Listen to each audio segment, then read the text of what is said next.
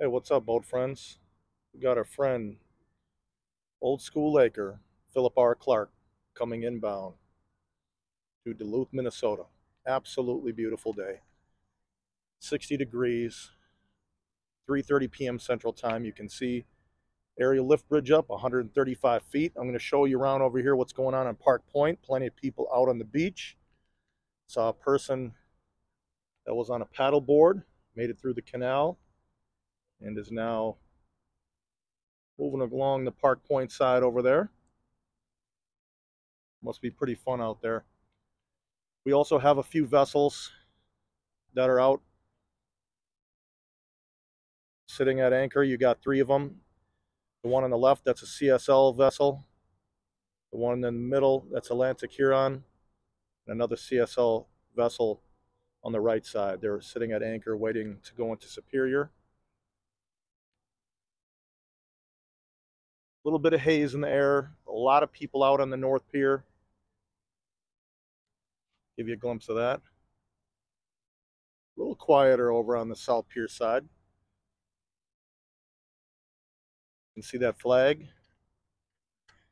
13 mile per hour wind gusts out of the north. I think you can pick up on that haze a little more. Take a look at that hillside. I'm going to get to marine traffic here in one moment. Show you a little more about what's happening here in Duluth, in particular the Park Point side. You got some people right next to that wall. A little bit of swimming going on, playing around.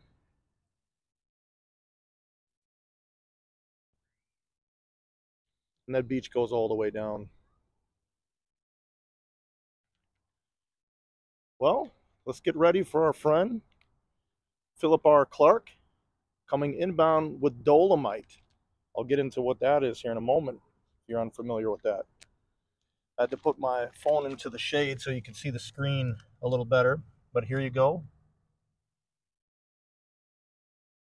Here's the Clarke. Doing eight knots, coming inbound.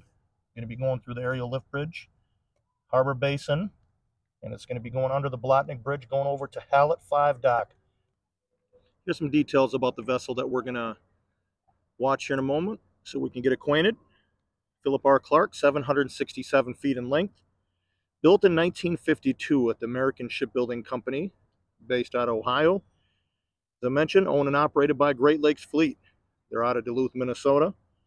25,000 ton capacity. 1974, lengthened 120 feet. 1982, converted to a self-unloader. Seven holds, 28 hatches, one propeller, one rudder, and as you can see, it has that awesome forward pilot house.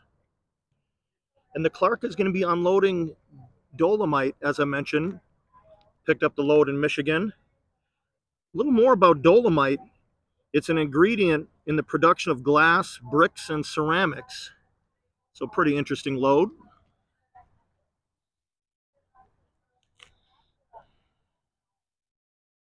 Take a look at that horn there right above the pilot house. That's a steering pole that's pointing out on the front of the bow.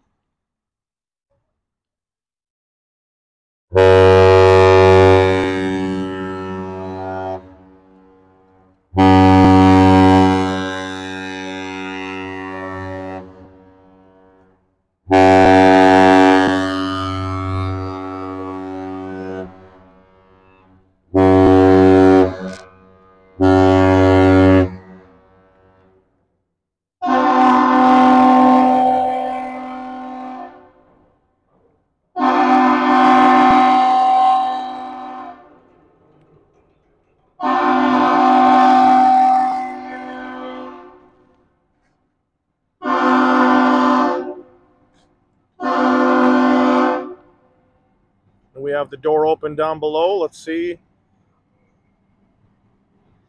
if we get the pickup on anything within.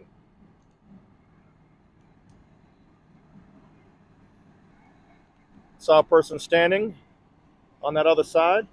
But take a look at this beautiful vessel. American flag blowing on the stern. Going through the aerial lift bridge.